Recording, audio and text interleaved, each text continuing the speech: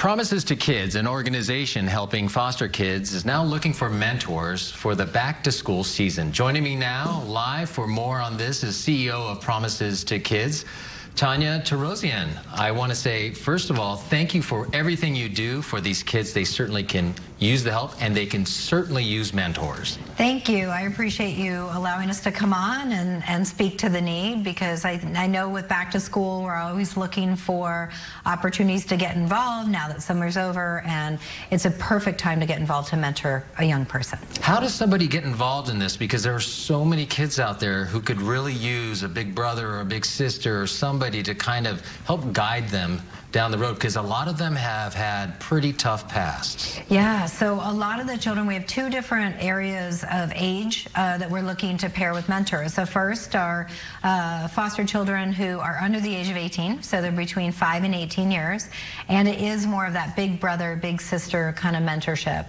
Um, and then the other group is really as uh, young people are leaving foster care and uh, forging their way into young adulthood, we need mentors to sort of guide them and coach them in that aspect of their life. So if somebody wants to become a mentor, what do what kind of mindset do they need? How do you talk to these kids? Do you give them a little bit of training and so that way they are very sensitive because yes. like I said before, a lot of these kids have had it pretty tough.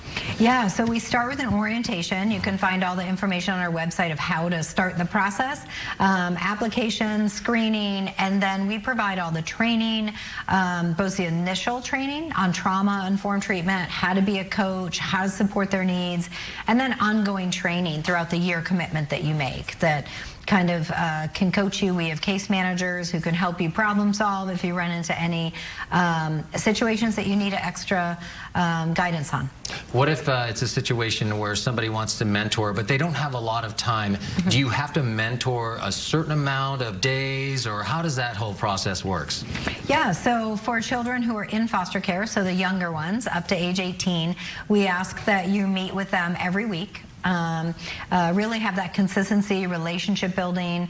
Um, so that's a more time commitment. Uh, and then those that are more transitioning into college career uh, is making sure that they meet with them at least once a month in person. The other can be a text, a call, just sort of, I'm here to support you.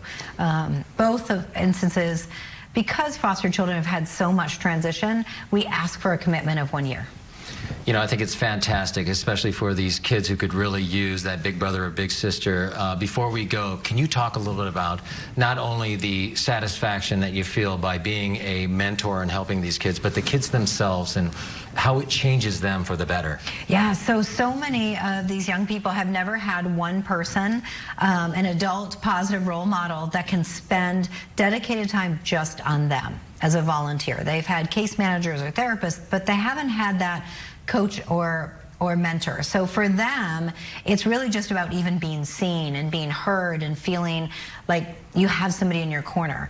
And as a mentor, just being there and showing up really can change the life of a child. It just gives them purpose. Well, I'm glad your organization is in their corner, and thank you so much for joining us right now. And I really appreciate it. If you want to be a mentor, uh, I think it'd be fantastic. It's easy. Just contact uh, Promises to Kids, right? That's correct. All the info's on our website, so start there. Awesome. Thank you, Tonya, so much for joining us. Thank you for everything you do. Yes. Teresa, we'll go ahead and send it back to you. It's always great to have Tonya here. Tony, thank you. Meantime,